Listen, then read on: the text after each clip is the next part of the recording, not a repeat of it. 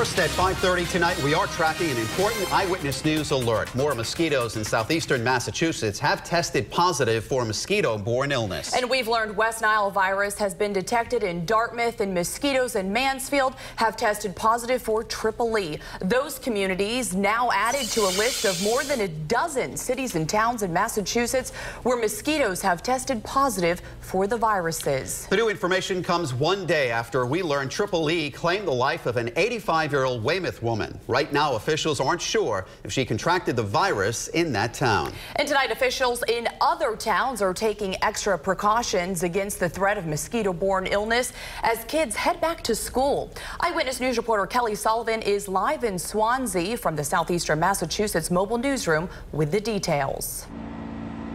Well, this afternoon, a worker here at Joseph Case High School has been fixing the lights on the football field, but unfortunately, those lights won't be used too often. That's because the school committee voted to suspend all outdoor activities after 6:30 p.m.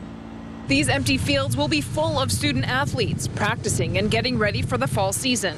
Friday night football games are part of a culture of a, of a high school. But this year, they'll be Friday afternoon games, starting at 4 o'clock under the sun instead of under the lights.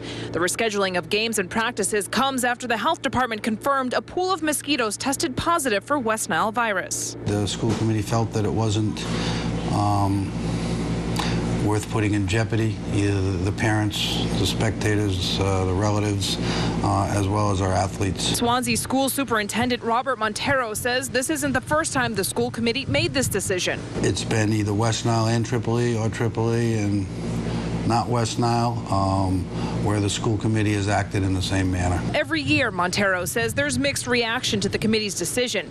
But in the end, he supports the members erring on the side of caution, and he hopes the rest of the community does too.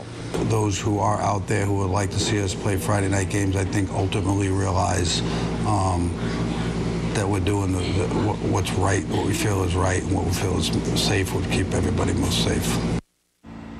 Again, that decision is to suspend all outdoor activities after 6.30 p.m. until the first frost of the year. And typically that first frost happens between late October and early November. Reporting live with the Southeastern Massachusetts Mobile Newsroom, Kelly Sullivan, Eyewitness News.